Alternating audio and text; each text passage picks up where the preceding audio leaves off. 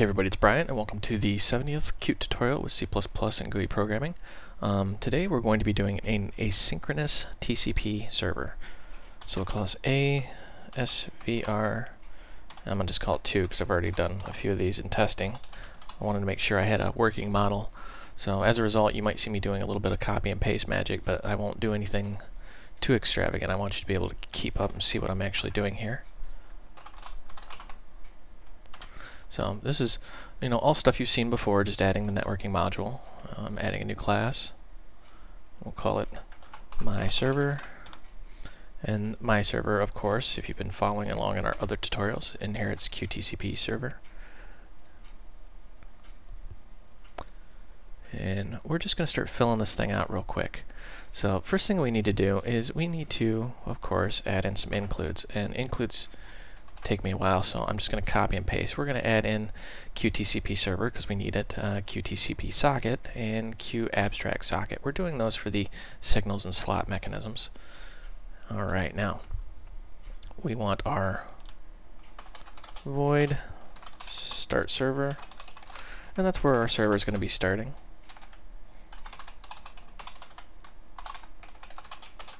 Whoops, hope if I can spell void.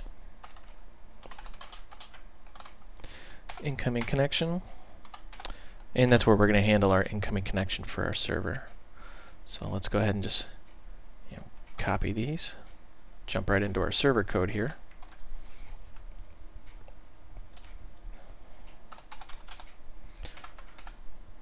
Now I've uploaded so many videos that I don't really know what my time limit on YouTube is. I know it used to be like, what, 10, 15 minutes, and it's been getting bumped up and up and up, but uh, this is going to be a fairly complex tutorial, so like I said, I'm going to be doing some copying pasting. But you've seen, like this code for example, a million times. We're just saying, if the server listen on qhost any address port, and we'll just say 1, 2, 3, 4, then started, otherwise not started. You know, you've seen this if you've been following along in the tutorials. And now we need to actually stop at this point and make a client. So we're going to say new class. And our client is going to be anybody, anybody. It's going to be a QObject. So we'll call it my client. Here it's QObject. Next, next. That way, you know, we just want a very simple wrapper for a socket because we want to be able to capture the signals and slots. Um, part of sockets is they are asynchronous. And what does asynchronous mean? Well, it means that uh, it happens outside of what you see. If you're synchronized, you are you know doing something in parallel with someone. Asynchronous means, of course, it does something without you. All right, so I'm going to make a simple, simple function called void set socket. I'm just going to say int descriptor. And then we need our public slots.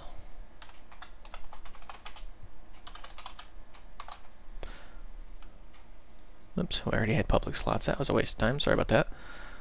And I'm going to make a few slots here, and I'm just going to copy and paste these out. We're going to do the connected for the socket connection, disconnected for the socket disconnection, ready read, so when we have data from the socket, and task result.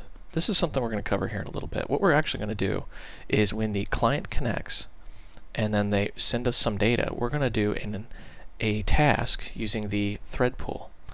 That way our socket communications, the send and receive, are asynchronous meaning they work on another thread. We don't have to worry about them.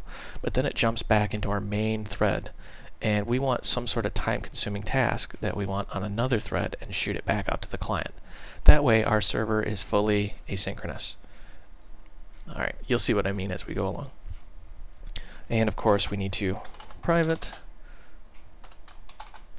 Oh, forgot our headers here, and I'm just going to add these in real quick and I'll explain them as we go. Q object, Q TCP socket, Q debug for obvious reason, and Q thread. This is where we're going to be using our threading.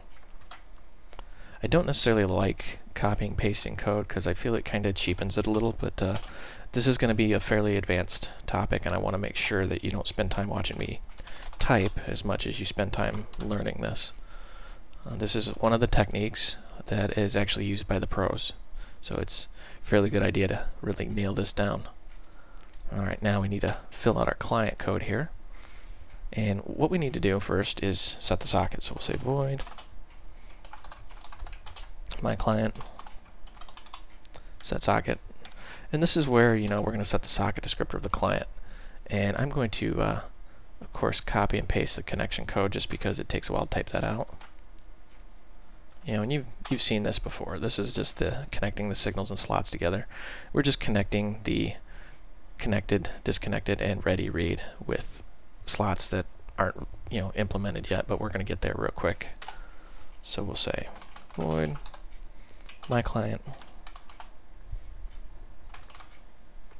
Connected.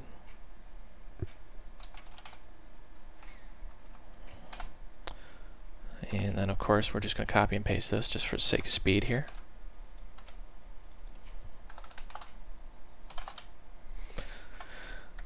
I will admit, I really, and this is like the third or fourth time I've done this video, I've really tried to uh, shave a lot of time off this, and it's becoming very difficult because this is an advanced topic.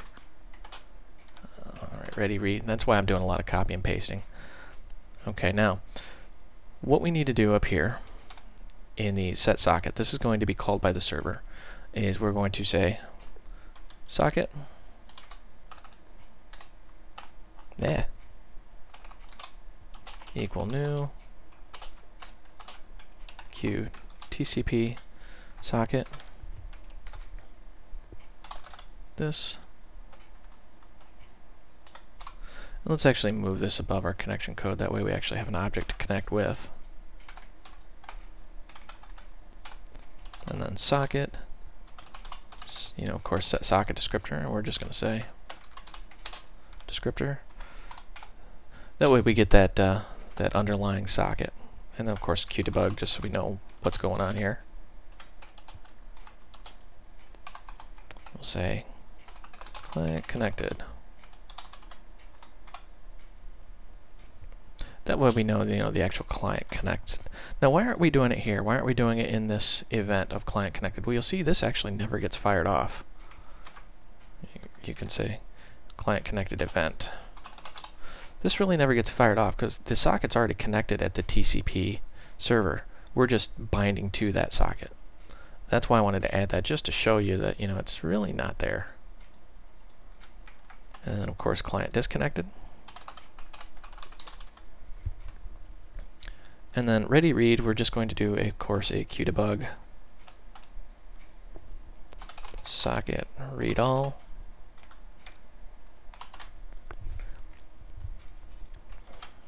All right. Now that we've got that filled out, let's jump back over into our server here. We need to handle this incoming connection. So what happens when, of course, we have a connection? Well, we need to add our include here. My client. And go back into our server and say my client. We'll just call this client equal new my client. We'll just say this is the parent. That when the server's destroyed, all the other little objects get wiped out as well. And then we're going to call set socket. And this actually just connects that underlying socket descriptor on the incoming connection. Very, very simple here. Let's actually do a test build. We got some issues here. Hmm. Listen not declared in scope. Oh, it's because I forgot the namespace. My bad. If I had a penny for every time I did that.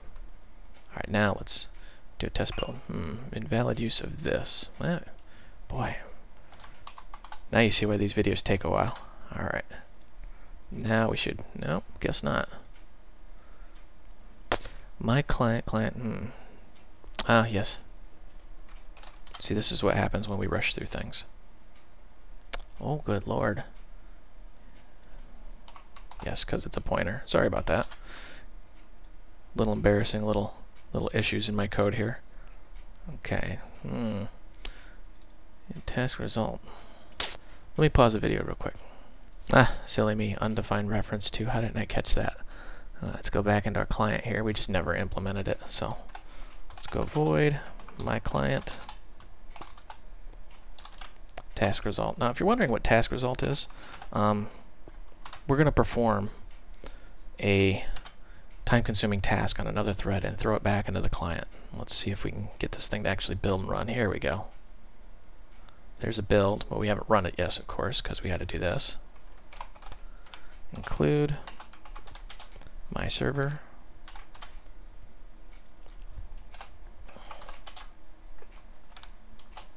say server and server, of course, start server. Maybe. There we go. IntelliSense didn't like me today. So of course we will start our server and let's just fire open a telnet just so we can see that this thing is actually running.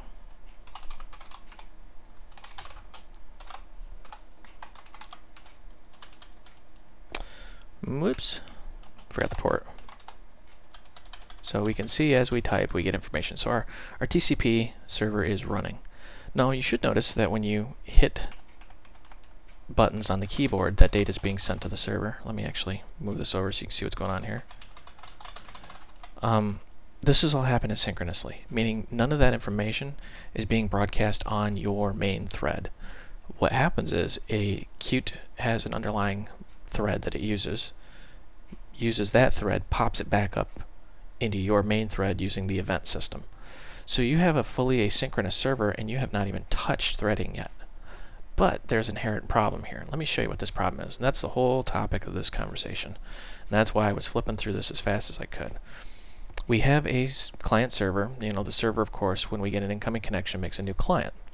The client does set socket, and we connect our signals and slots, set the socket descriptor to actually get the underlying socket, and then we're connected. And then we have all our information here, like ready read, you know, we're just reading what the client sent us. The problem is this right here, ready read, this is happening on our main thread, not on the underlying asynchronous thread that Qt was using. So if we want to do a time consuming task, that'll lock up our main thread. So any other clients that are running are going to hit this same point in the code and they're going to lock up as well. So if you deadlock this thread, let's just say deadlock right here, meaning the whole thread just comes to a screeching halt because you're trying to load like a 50 gig file, all your other sockets are going to hit the same spot and just deadlock. Now, you could argue, well, that's why you use mutexes and semaphores and things of that nature, but you know what? There's a much, much, much easier way, and that's what I'm going to show you today. And I'm sorry it took this long just to get to that point, but like I said, this is an advanced topic. If we go into our client here, you see we're using the thread pool. Now, one thing we haven't implemented is the actual thread pool itself. Hmm, why is that? Why haven't we done anything with the thread pool? Because I'm going to show you that we use the actual global instance of the thread pool. See, every application when it's created in Qt gets a thread pool by default. So you don't really need to create one and mess around with it. So what we're going to do is we're going to make a new runnable. And this one is going to be called my task. And this is going to be our very time consuming task here. So let's just go new class. And we're going to have to perform a little bit of operation on this just to get this to work with signals and slots. This is kind of a tricky one. So we'll say my my task base class and we'll say uh, Q runnable is the base class, does not inherit Q object. And now we have our task here. And let's look at the header of this. Notice there's some things missing. We don't have the Q object macro, so we can't really use signals and slots. And we need to be able to use signals and slots, so we need to add in a few things. So what we're going to say here, and let's actually add in our includes first. Let me just copy and paste some includes for my notes. We're going to use QDebug, QObject, and QRunnable. Now, QRunnable we need because this is actually a QRunnable. We're going to use this through a thread pool, which we've covered before. But we need QObject because we want to use signals and slots. You notice by default, you don't really get signals and slots in a QRunnable. So we need to perform a little bit of operation here. And those of you that have been with me from the start, you know, you remember the inheritance tutorial. Well, I said, well, rarely do you actually use multiple inheritance. This is one of those rare times where you actually do. We're inheriting both QObject and QRunnable. And now, of course, we need the QObject macro to actually turn this into a full-fledged QObject so we can use signals and slots. Now, of course, we want to implement protected, and we're going to say we don't implement protected. Sorry, we just want to implement the run. That way, we have our our full-fledged QRunnable here. But we also want a signal because we want to be able to say when this is done. We want to notify our main thread that hey, we're done. And we're going to say result and we're just going to say int number because we're going to generate a number and we want to know what that number is. So this is a very simple QRunnable. It just inherits QObject and QRunnable and implements the QObject macro. We have our run and a signal of result. So let's go ahead and jump into my task CPP. Do a little copy and paste magic, save some time. Whoops.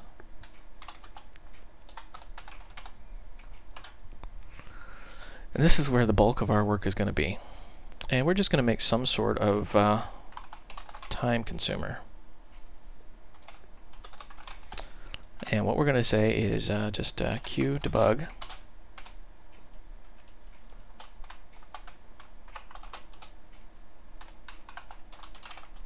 task started. That way we know that our time-consuming task started. And this isn't going to be really time-consuming. I just want to show you that, you know, we're doing something. And we're just going to say for int i equals 0, i less than, we'll say 1,000. Actually, let's just do 100 just for giggles. i plus plus. You know, and you can do any sort of time-consuming task you want. Um, we're just going to say i number plus equal i. We just want to know what happens if we just keep adding this number up over and over and over and over again. And then we're going to say q debug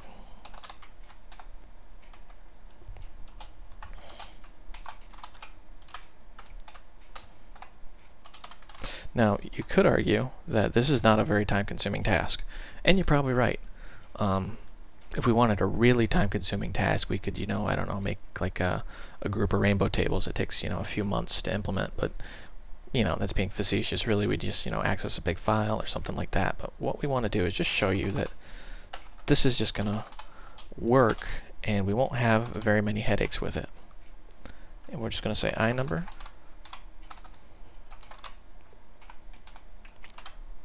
So when the thread pool kicks up and it implements our QRunnable, it's going to hit this run and it's going to do this time consuming task. And we're just going to say, you know, do something that's going to take some time and then when we're done, we want to kick the result back up to our main thread. That's why this is a little bit tricky, because remember, this is running in a separate thread, and we don't create this thread, and we don't control this thread. Qt does. We actually have very little control over this at all. All we do is hand it off to the thread pool, and the thread pool fires it off on one of the queued up threads that's sitting there ready to go. And remember, this may sit in a queue for uh, a few milliseconds, a few seconds, a few minutes, depending on how busy the server is. All right. Now that we have got our uh, runnable there, we want to go back into our client. And you notice we have our task result. This is what's going to happen here. When we have our read, we want to be able to perform some sort of action. So what we want to do here is we want to go back into our header and we're going to say you know, include my task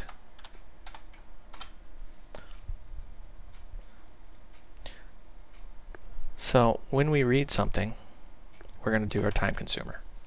And what we're going to say is my task, and we're going to make this obviously a pointer. My task equal new my task. And we're going to say my task set auto delete because we want Q to delete this so we don't have to worry about a bunch of pointers and gobbling up our memory. Now we want to connect the signals and slots. And this part is going to take a little bit of explanation, but we'll go through it fairly quickly. We'll say connect my task signal result. See, there's where we're popping back our result.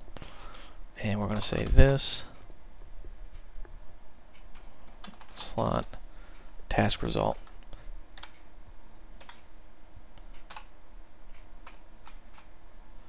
Now, this is the part that needs a little bit of explanation. You notice how at the very end it says, I don't know if you can see it because the video is probably chopping it off, but it wants to know a connection type. And in the past we've used Qt direct connection. And let me move this over so you can see it. Well, if you look up in the documentation, there's different ways of connecting. And what direct connection does is it fires it off immediately. Well, the problem with that is we're on a totally separate thread. And that's not really a great idea. So what we're going to do is we're going to do what's called a queued connection. And if you look up the documentation on a queued connection, I just copied and pasted it for you, a queued connection will fire off the event, or the signal, sorry, and it'll sit in a queue until the context of execution rejoins the calling thread, meaning it'll pop back right here. So when the context of execution rejoins our main thread, this is where it'll fire it off. Pretty simple. Now, what we want to do simply is grab that information and then fire it off to the to the client. Whoops. Having a little mouse difficulties here. Sorry about that. So all we need to do is at this point say, look, we fired it off into the QThread, which or into the thread pool, which we haven't actually done yet. And when it's done, it'll pop back right here. So let's actually implement our thread.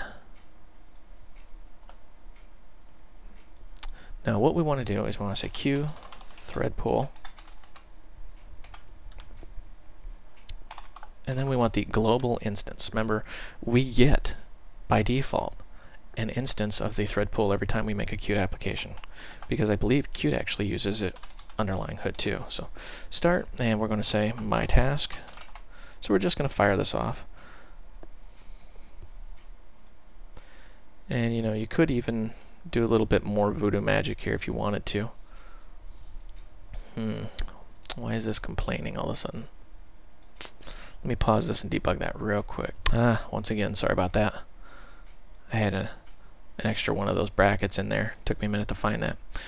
But anyways, um, we make our global instance, and we're just going to start our task.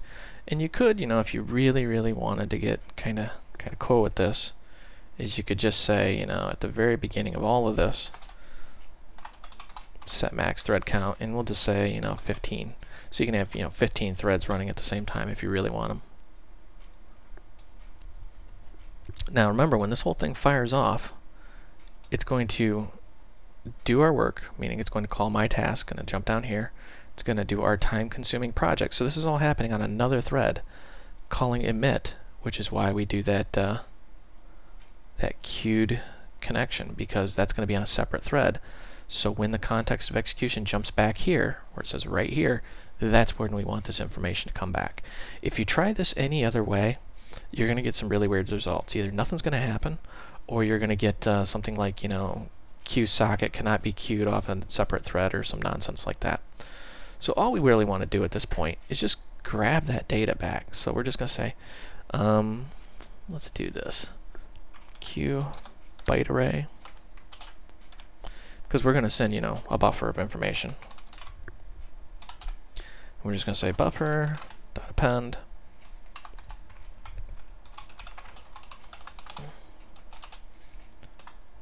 we just want to know, you know, what the what the information was. So we're going to do this, and we're going to say QString. We need to turn that number into a string, so we can throw that in here.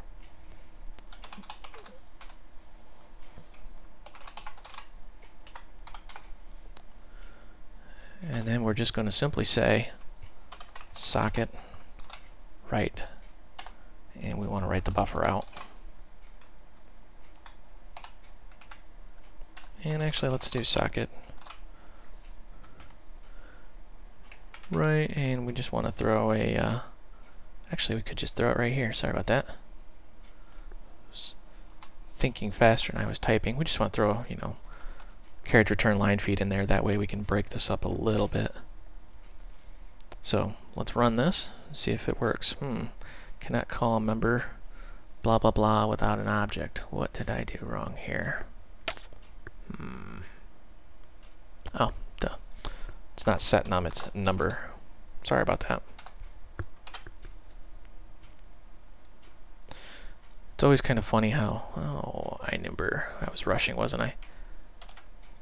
It's always kind of funny how it's in these massive, you know, complex projects, it's the little things that really throw you up and then you gotta figure out what blew up and why and that's one thing I do like about some of the managed languages out there like uh, .NET and Java is it's pretty obvious what's wrong. You don't have to sit there and kind of go through it.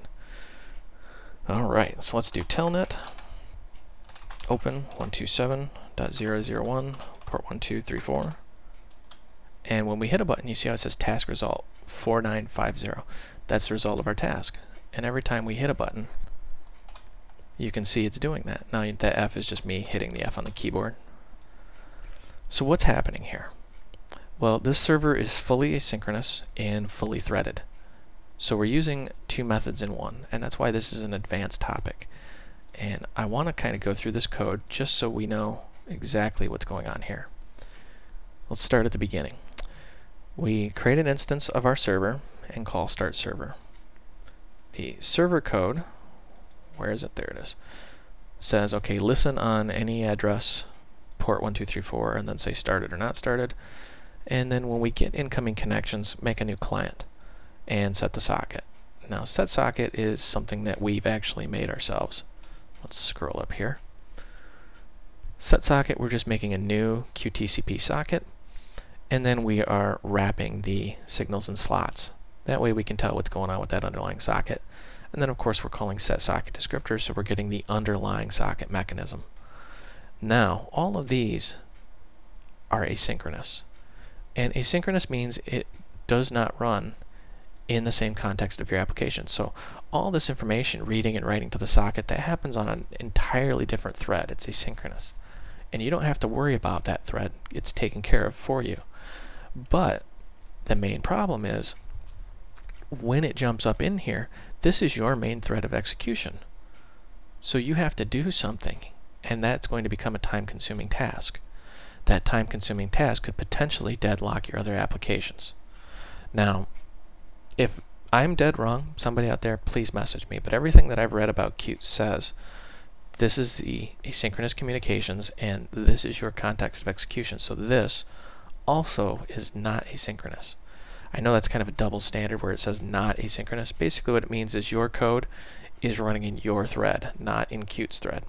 So if you want to make sure you're not deadlocking different uh, different sockets and different clients out there, you need to throw this back out onto a separate thread, aka the thread pool that we're using, and then do some work. And our time-consuming task, I mean, let's just even kick it out to a thousand.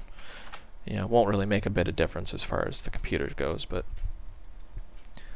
do your time-consuming task and then jump right back out here into task result. And then you know send the data out to the client. That way your time-consuming task is done on a separate thread so that when other clients come in and you're already processing this they're not going to sit there and wait. But you've also protected yourself because you've done the you know max thread count 15 that way if you have 3,000 people hit this thing all at the same time your server doesn't just explode know, I mean, it looked like the Death Star just exploding across the night sky or something. Alright, so let's just compile this and one more time. Let's just see this thing in action. And this was a, a fairly advanced tutorial. Um, like I said, this is one of the techniques that a lot of the pros use. Whoops, forgot open. Silly me. Fortunately, a lot of the pros know to type open before they type the address. And you notice how we have different number because we changed the result. Um, so yeah, there you go. In all of its beauty, this is an advanced TCP socket server with asynchronous communications and multi-threaded. Whew, that is a mouthful. And believe me, it took me a while to get this thing actually running because uh, I'm definitely not used to Qt, the way they handle their their sockets and their threading and signals and slots. And I'm still learning, just like you are. I think uh, when it comes to something like Qt, we're all going to be learning for a very long time. It's a very, very robust framework. Ah, I shouldn't call it a framework. It's a library. I've been kind of shunned for that before. But anyways, this is Brian. Thank you for watching. I hope you found this video educational, and entertaining, and uh, shoot me any questions or comments you got. I look forward to them. Um, just because I'm recording the video doesn't mean I'm instantly right. I've been wrong many, many times, and I've publicly admitted, hey, I'm wrong. And then I've given the person credit. So if you find a flaw in my program, let me know because I want to know about it because I'm going to be using the same code. That's it. Thanks.